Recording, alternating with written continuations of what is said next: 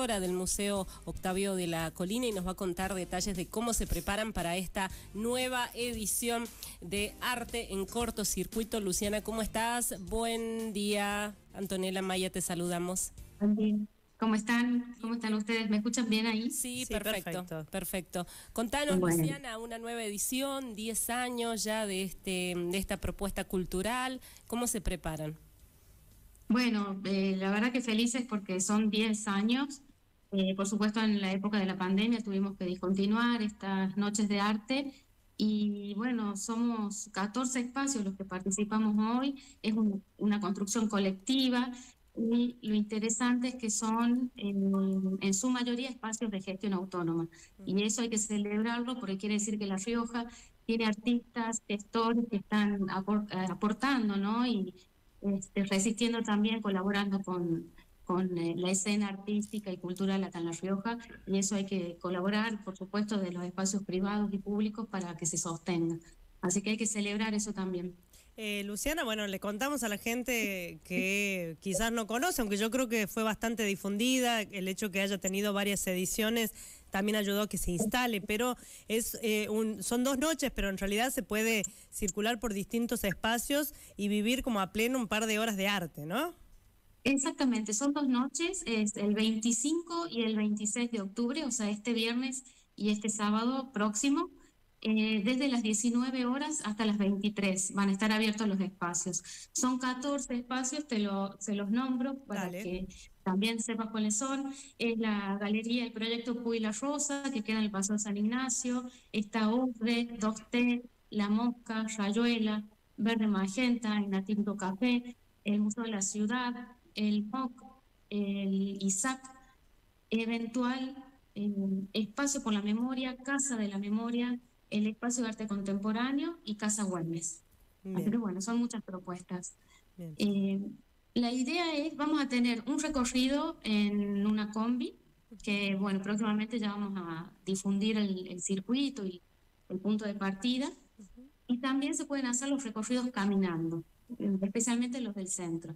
Pero bueno, cada espacio va a estar abierto en ese horario de 19 a 23 y a las 23.30 vamos a hacer el cierre acá en el MOC, en el Museo Octavio de la Colina.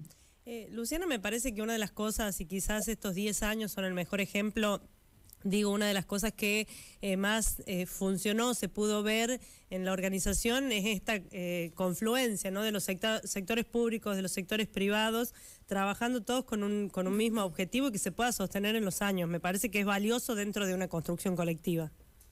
Sí, por supuesto, eso es valioso, poder aunar criterios, poder escucharnos.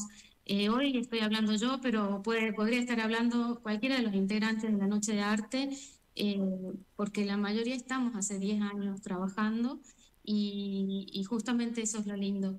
Ah, éramos un cortocircuito porque el circuito era corto, pero también este cortocircuito eh, de instituciones trabajando juntas, que la verdad es maravilloso. ¿Cómo ha ido siendo la, la, evolución y la aceptación y el acompañamiento de la gente, Luciana, a todo, bueno, a todo este movimiento y movida cultural? Porque es difícil a veces también.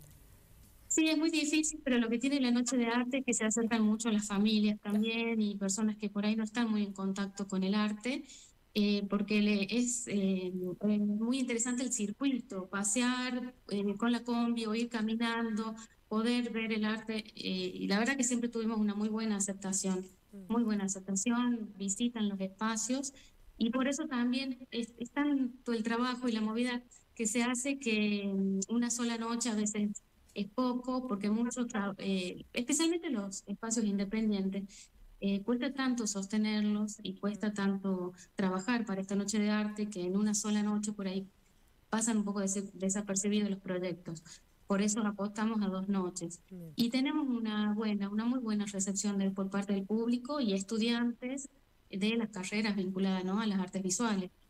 Eh, las obras y todo, digamos, el trabajo artístico que se va a ver tiene que ver con las artes visuales, ¿no? En su mayoría sí, tiene que ver con las artes visuales en diferentes disciplinas. Eso es lo lindo también, que se pueden ver dibujos, grabados, esculturas, instalaciones, performance.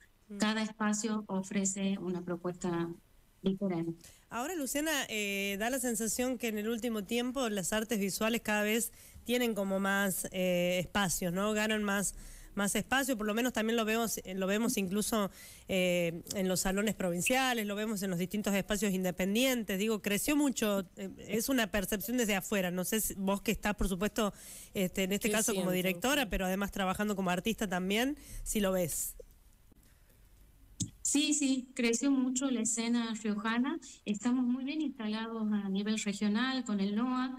Eh, somos una provincia muy activa y estamos en contacto también con artistas y referentes de las otras provincias.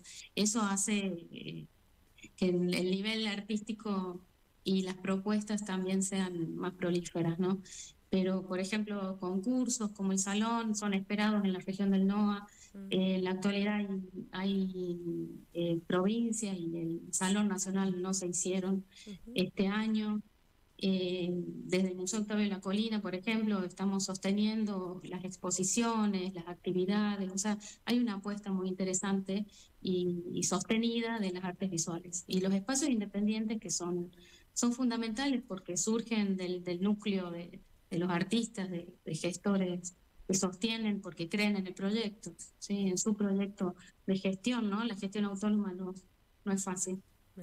Eh, ¿Está convocada con una temática en particular esta noche de arte en cortocircuito 2024, Luciana? Eh, mira, hemos estado trabajando con el libro de, Mario Paoletti, este, que se llama A Fuego Lento. Sí. Nos inspiramos en algunas frases de este libro. Cada espacio va a seleccionar una frase para ponerlo como en, la entrada, como portada también de, este, de esta noche de arte, de lo que estuvimos charlando entre todos y todas también. Bien, bueno. Bueno, no quiero dejar de mencionar antes de olvidarme la feria de arte que se va a hacer en el MOC también, en el patio y en el ala este del MOC, que se llama Fuego Lento justamente, eh, teniendo en cuenta el libro de Mario Paoletti, y eh, va a haber venta eh, de obras de arte. Genial. para quien no conozca, no haya ido nunca, es un poco la dinámica que en su momento se conoció, va, se conoce, digo, y que funciona desde hace muchos años de la noche, de la famosa noche de los museos, por ahí como existe en, en, Buenos Aires, digo, esto de dedicarle unas buenas horas a recorrer, recorrer espacios, a recorrer obras, ¿no? en horarios no habituales también, ¿no? Exactamente, es como la noche de los museos, donde hay un circuito planificado, donde también podés pasear y vos elegir tu propio circuito. Eh, los espacios van a estar abiertos en ese horario, que es de 19 a 23, y, bueno, eh, quedan invitados, invitadas, por supuesto, a participar. Genial. Bueno, elige tu propia aventura en esta décima edición de la Noche de Arte en Cortocircuito. Luciana Gómez, directora del MOC, muchas gracias por esta información. muchas gracias a ustedes. Muy amable. Buenísimo. La verdad que fui a la mayoría de las ediciones y es, es la verdad que es un circuito interesante para hacer. Y esto que te lleven y te trasladen en combis, que tengas la posibilidad de paradas especiales para, para ir este a, bueno a visitar los distintos espacios, está bueno. Este año no está, pero la UNLAR supo estar dentro de los lugares, ¿no? Sí, con su museo, con su... Allí me acuerdo en, el hall de las, del museo, no, perdón, de las salas.